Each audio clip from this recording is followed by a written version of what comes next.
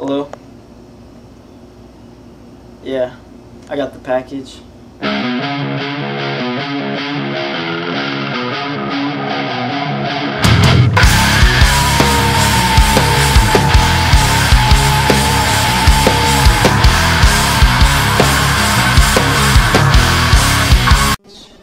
You got what I want.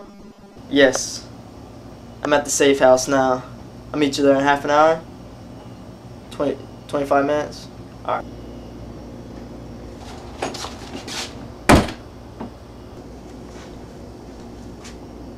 Who the fuck are you?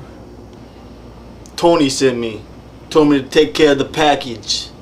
My package? You have to take care of me first. That's exactly what I plan on doing. Well, it's funny you should say that, because I was thinking the exact same thing. Then I guess I'll have to make the first move, SA.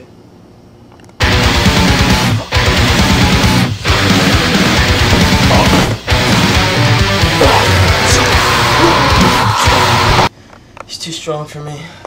He's not! He's not too strong for me. I'm ready. Let's do it.